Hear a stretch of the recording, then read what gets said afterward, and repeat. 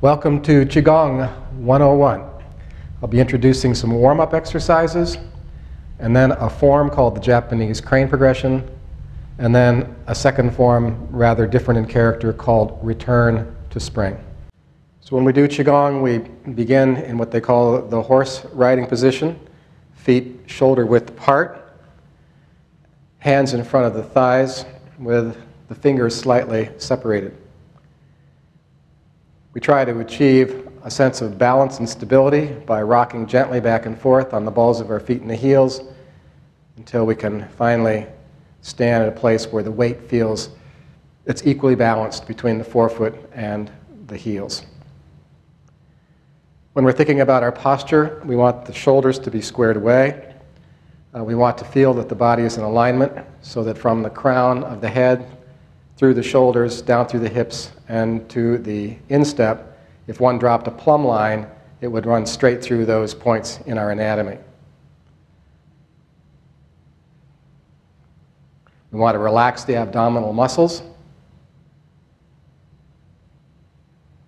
And we want to start by just simply slowing down the breath, becoming aware of our bodies stilling some of the chatter in our minds. And then we want to try to think as we are breathing about the weight in the upper part of the body dropping down into the hips and the lower part of the body. So that with each exhalation, imagining that a little more of that heaviness in the body is actually dropping down toward the feet. And that sense of heaviness that develops in the lower part of the body then can begin to help us feel an essential connection with the ground, a rootedness with the, firm, with the uh, ground beneath us. And at the same time, as we're breathing in, the upper part of the body becomes lighter. We begin to feel that we can lift the arms during these Qigong progressions without much muscular effort, just simply allowing the subtle energy that's a whole part of the Qigong philosophy to work with the body in elevating the arms. So in the last analysis, what we're striving for is a kind of a sense of, of heaviness and stability in the lower part of the body, and a sense of, of lightness and connection with the firmament, with the atmosphere in the upper part of the body. So a couple of warm-up exercises. These are classic Qigong warm-ups. And the first one really has to do with getting used to the shifting of weight from one foot to the other, which is something that has to we have to do quite often in these forms. So we just begin by transferring the weight to the left-hand foot and swinging the arms, shifting to the other foot.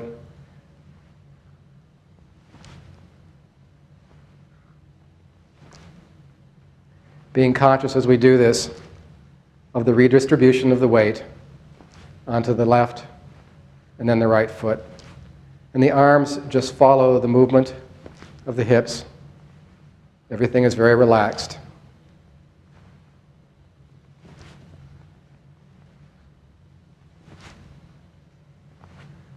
And then a variation.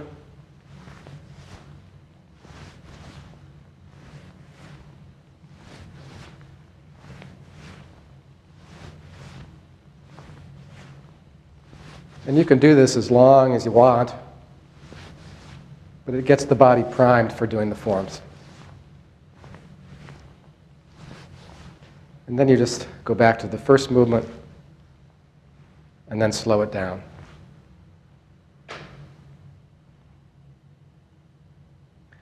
And a second warm-up exercise is designed to help release the shoulders where we hold a lot of tension in our bodies. And so it begins with the weight shifting onto the left foot, and then the right foot goes forward, the toe touches, and then comes back, and the other foot, and back. You could imagine the arms encircling a large ball as the arms move back and forth. All the weight shifts. We step forward, back, weight shift, forward, and back.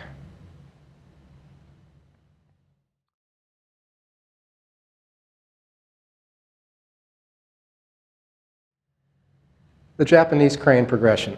There are 21 parts to it, and typically we would repeat each one of the actions, uh, each piece of the form, uh, five or six times and then move on to the next one.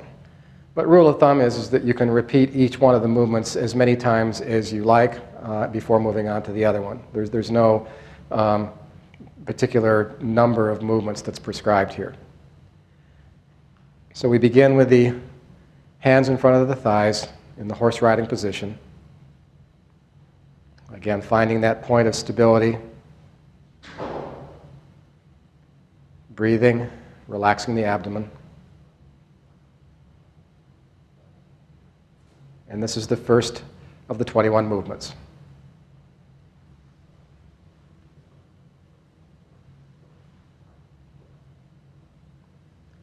As the hands move up, we keep everything relaxed. The wrists are relaxed, the elbows are relaxed, the hands just drift up and drift down with as little exertion as possible. And many of the movements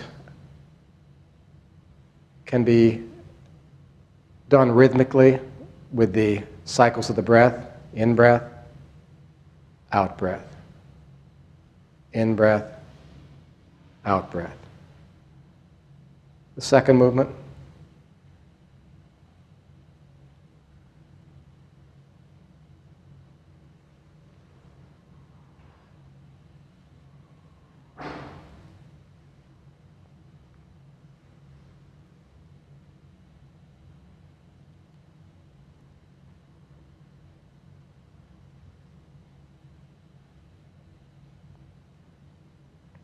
the third movement.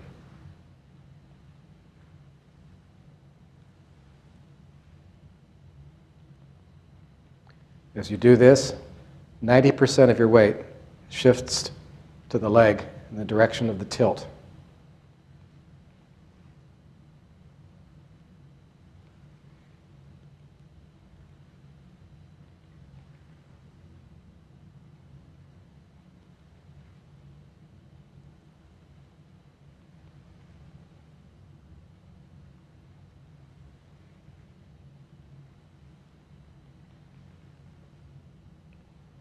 The next one.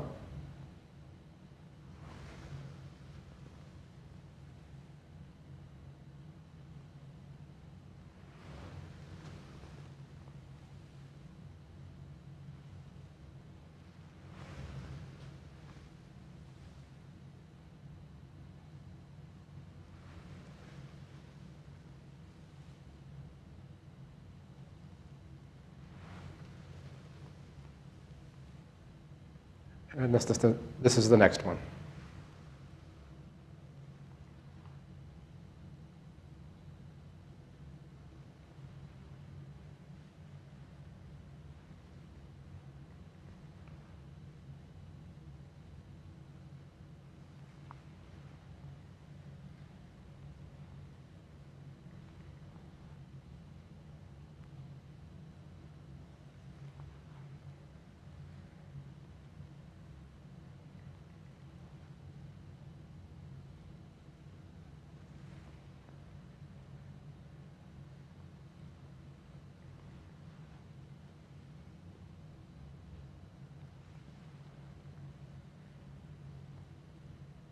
And the next one.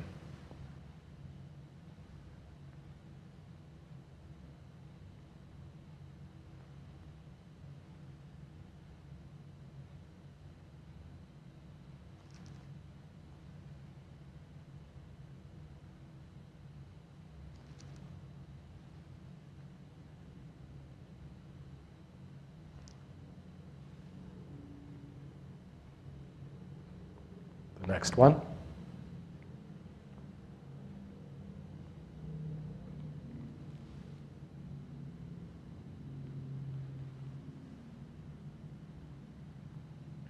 It's important to point out that with each of these movements where you're turning from side to side, all of them, the movement comes out of the hips. You're not twisting the back. You're not torquing the knees. It It all comes from the center of the body, from the hips.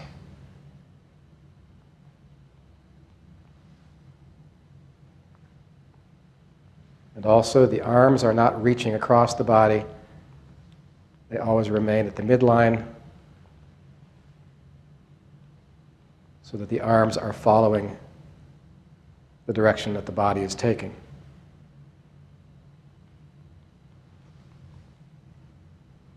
The next one.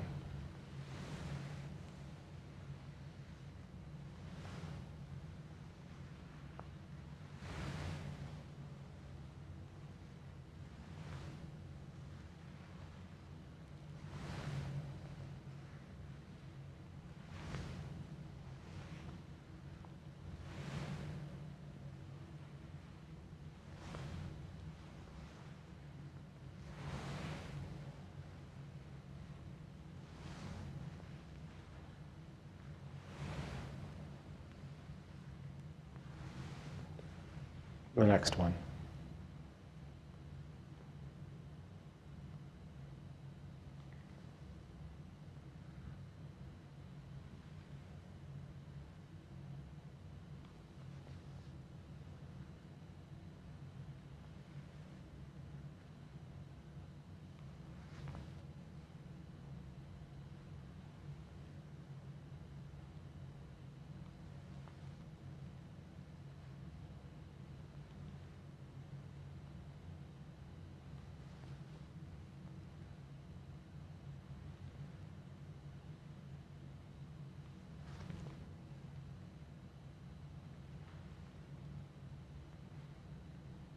The next one.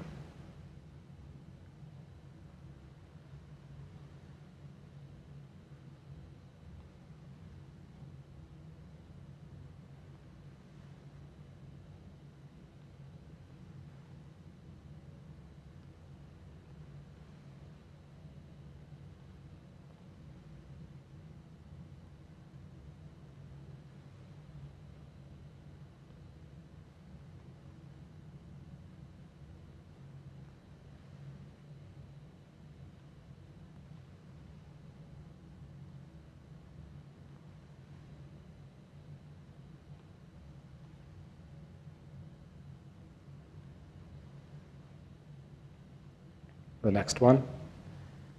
We place the right foot forward, and we bend at the waist, cross the arms at the wrists, come back, bending forward, crossing at the wrists, and come back.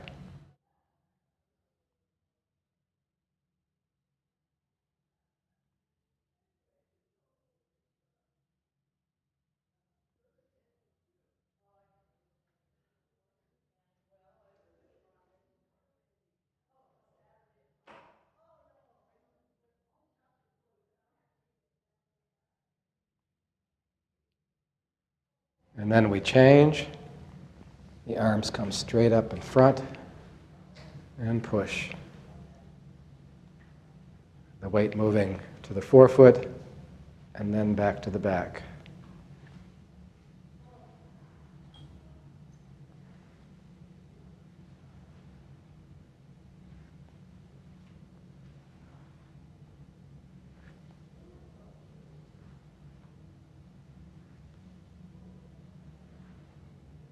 And the next one.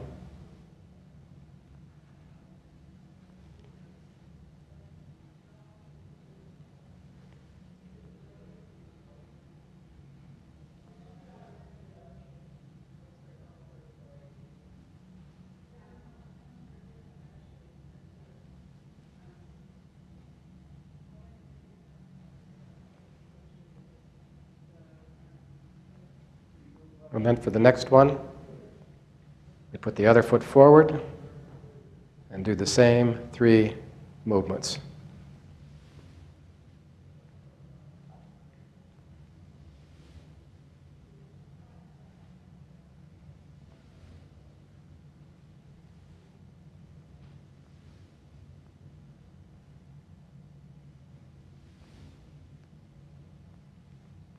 The next one.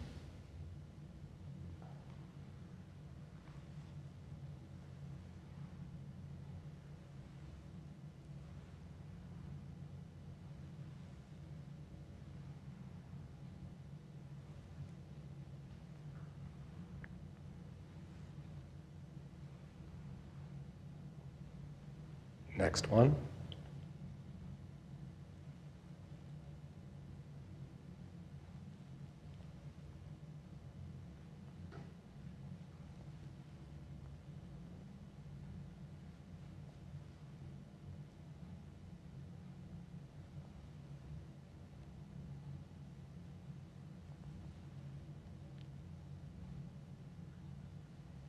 And then the next one.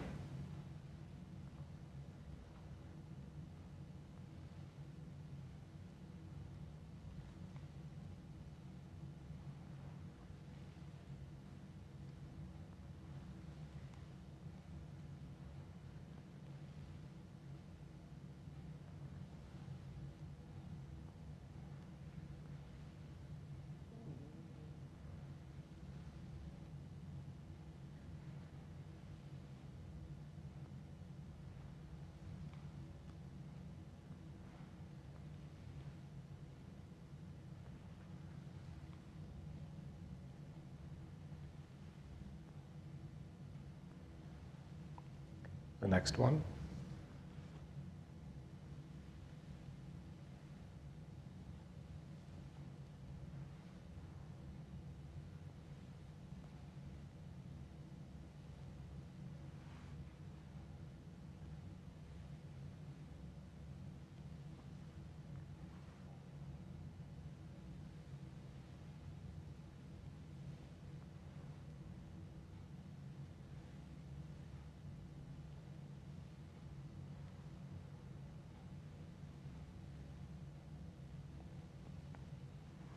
And then the next one, the arms reach the top, large body circles, as if the arms were the arms of a large clock.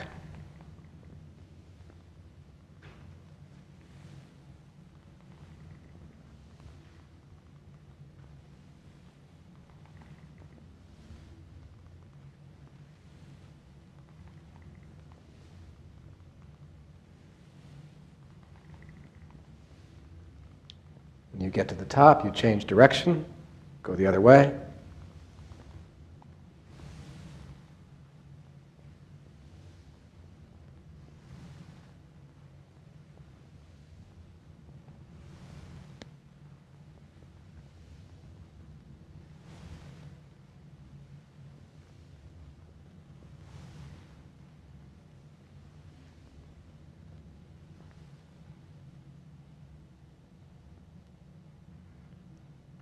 And the next one. Placing all of the weight on the right foot, lifting the opposite foot, at the same time pulling up with the opposite hand.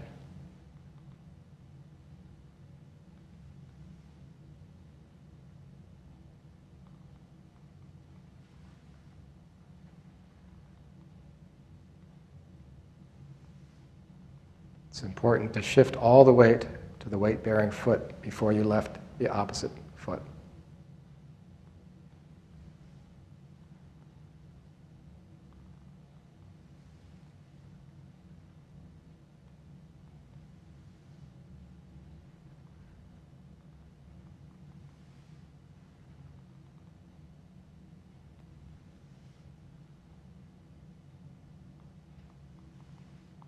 And the last one.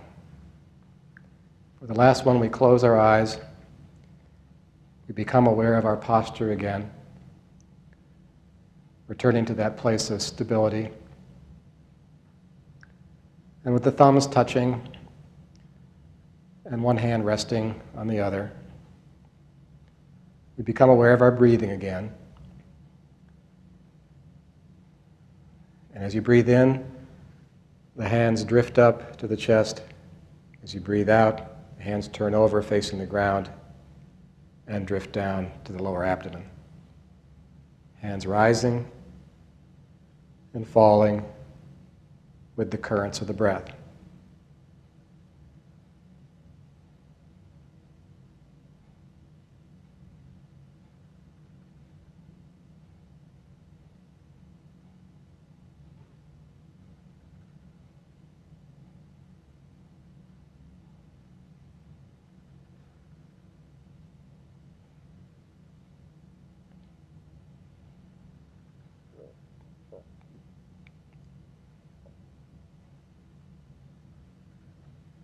And then in the conclusion, we return to the horse riding position, the palms in front of the thighs.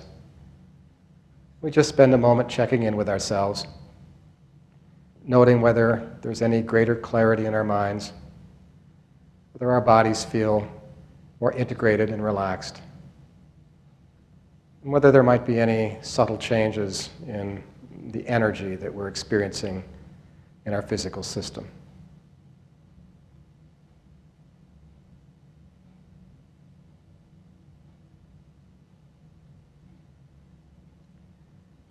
And that concludes the Japanese crane progression.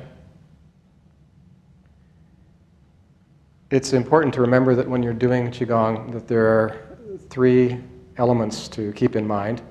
One of them is just the movement, um, the execution of the form itself.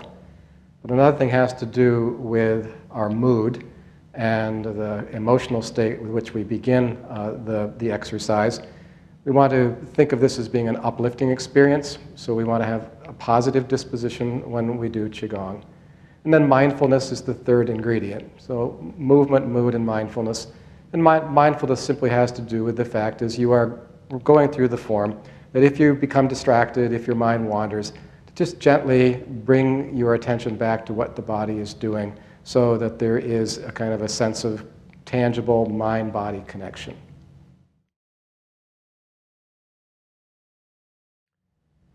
So the second form is called the return to spring. And as I say, it's a little different. Whereas with the Japanese crane progression, we try to kind of create a connection between the 21 different movements of uh, the crane progression so that it feels like there's a, there's a kind of a continuity between each one of the pieces, a kind of a flow to the, the whole way that the form feels to us. The, uh, return to spring is broken much more down into discrete units without a sense of connection really between the various pieces of the form. So that's one of the notable differences. So we begin, but many of the other principles do um, apply just as equally to return to spring as they would to the Japanese crane. For this one, we begin with the horse riding position as before. And then we bring our hands together in kind of a prayer position. We breathe in and we gently blow into the palms. And then the right hand begins to fall, followed by the left. And at the lower abdomen, the thumbs touch. We form a kind of a diamond with the thumbs and the fingers. And that's the starting position. And then we turn our head to the left and to the right. And we turn left again, and we move at the hips, and the hand comes out and moves down the midline.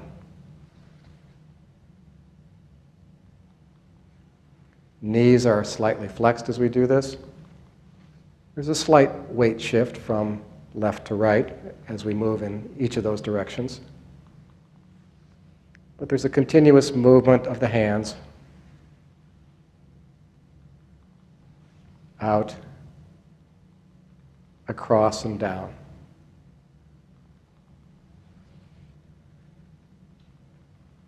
And again, as with the Japanese crane, you can repeat these as many times as you like.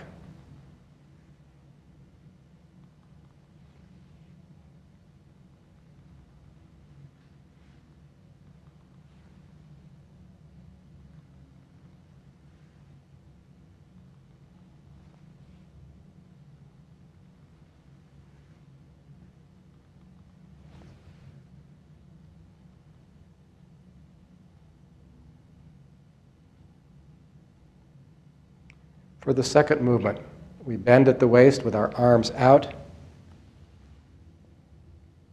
And then we swing our hips to the left.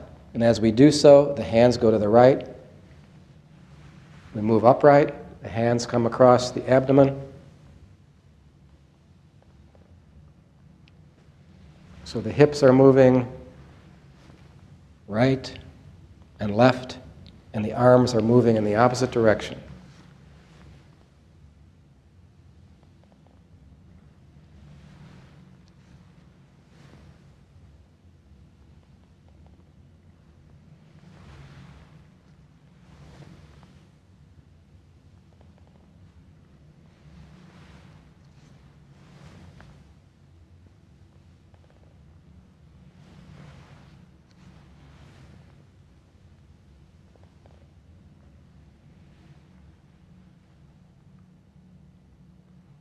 For the third movement, we dip from left to right without moving the feet. And as we do so, with each time we lower ourselves, the arms come up.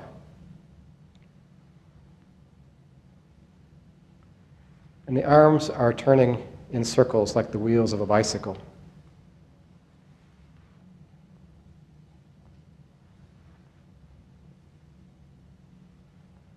So as the body sinks, the arms come up. As the body rises, the arms go down.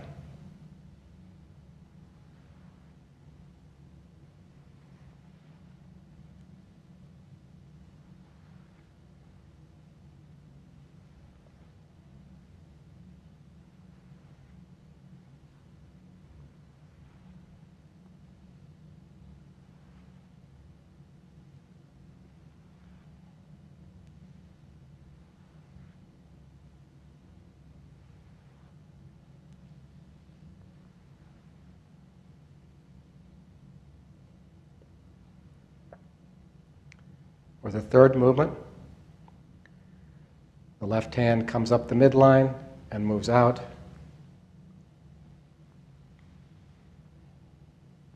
The weight shifts from left to right. It's kind of like swimming the crawl.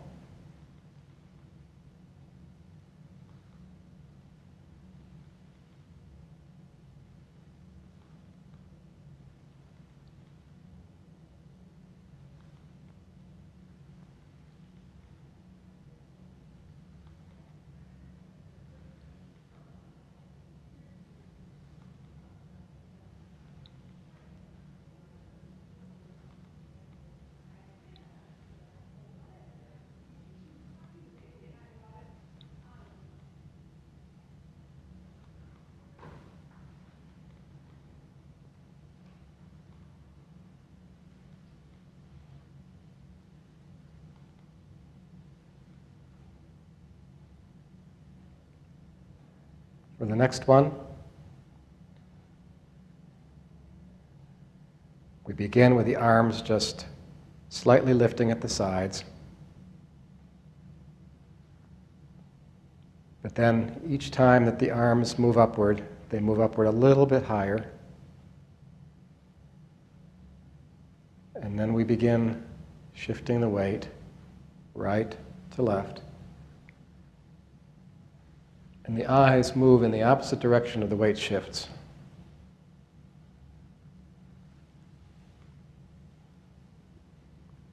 The movement becomes fairly dramatic.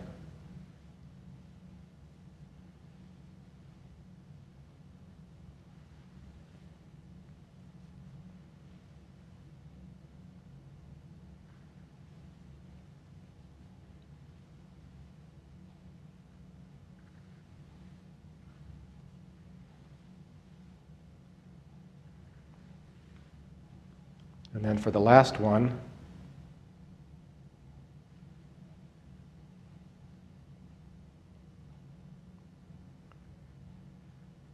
the sixth movement is very simple.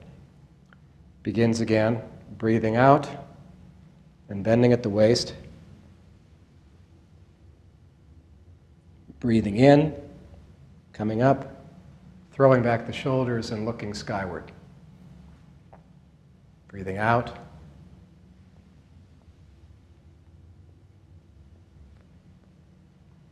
And in.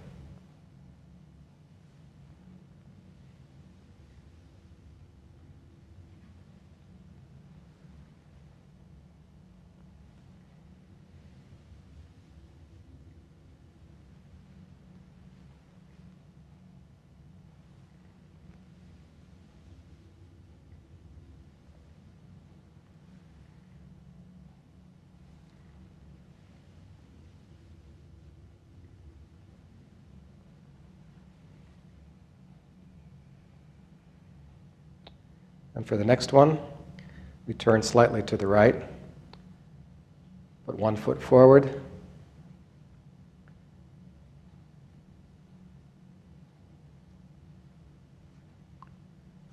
Like one of the earlier movements, as the body dips, the hands come up. As the body comes up, the hands go down. But this is done at a little quicker pace.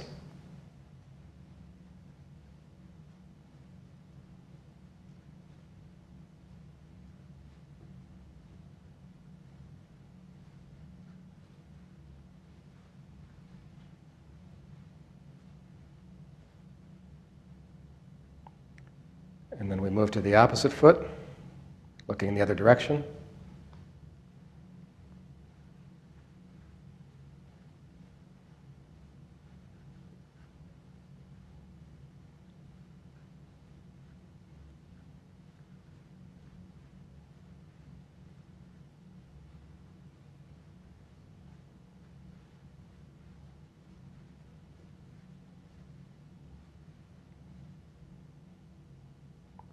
And then we turn back in the opposite direction.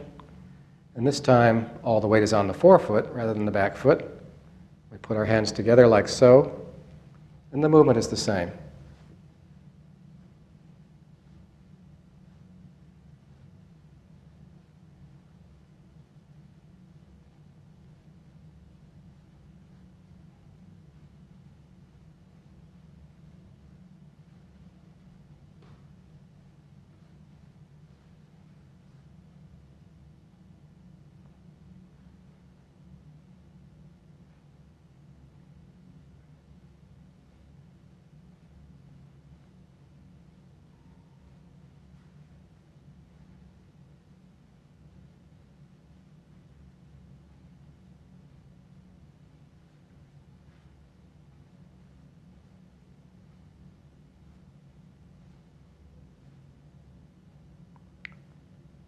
And the feet come back together.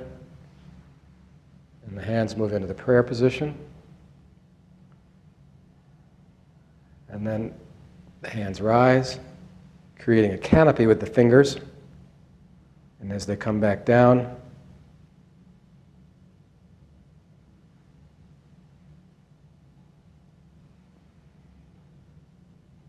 this is the in breath, and this is the out breath. Knees bend slightly.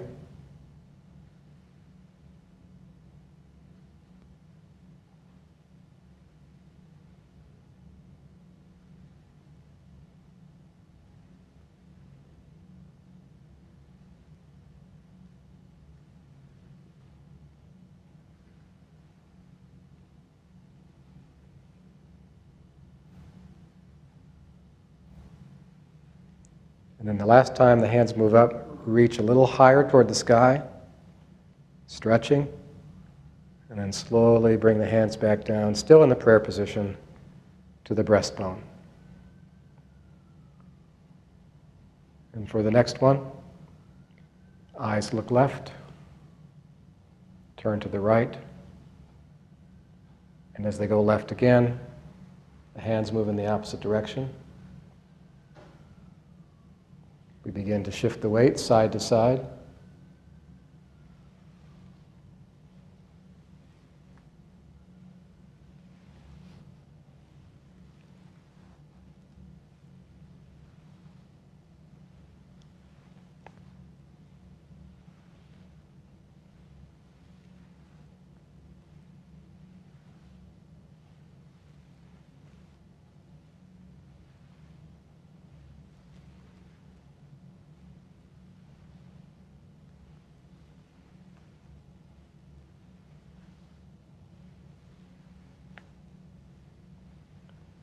And gradually we begin to draw that movement back in again.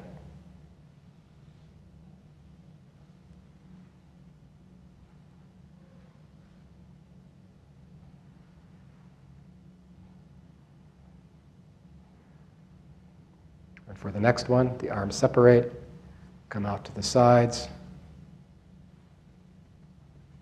and then come forward, creating fists, dropping down, opening the hands.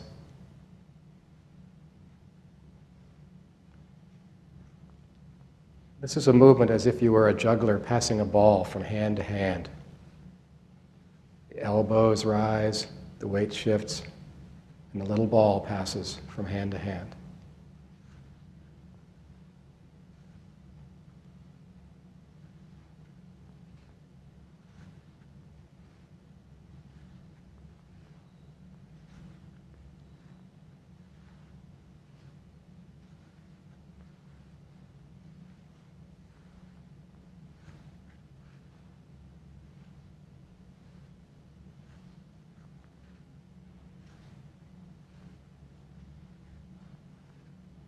And then you let this movement gradually die away.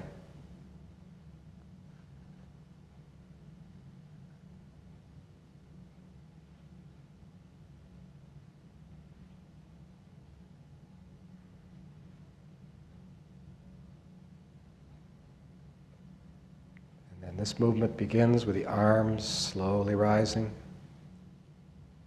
moving out to the side, palms facing heavenward coming back together, bending at the waist, and coming up and lifting and drifting.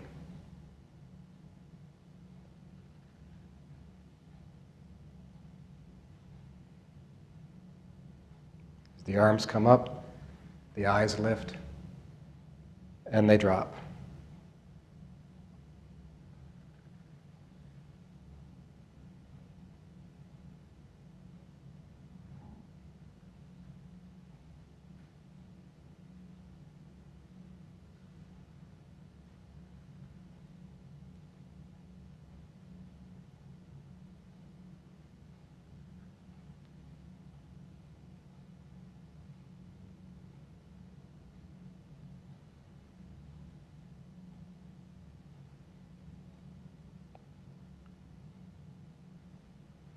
And the next to last one is actually called The Universe Trembles.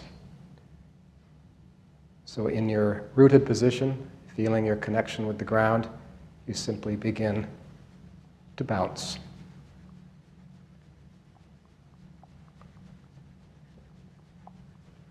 Everything should feel loose. All the tension in the shoulders and the knees should be released.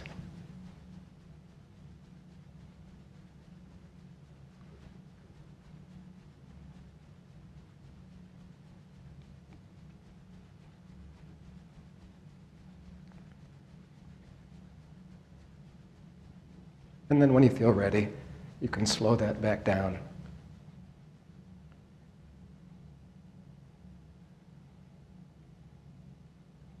Until come to a stop. And the last movement reiterates the opening movement. Hands in the prayer position, bringing them to the lips, blowing gently into the hands. The right hand drifts down the midline, followed by the left. And once again, they come together in a diamond shape at the lower abdomen. And as before, you spend a moment checking in with yourself, noting your breathing, looking for any places of tension that remain in the body, breathing into those places to help release the tension and the muscular tightness.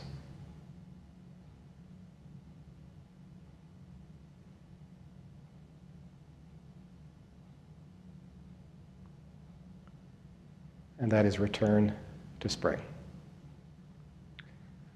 Thus endeth Qigong 101.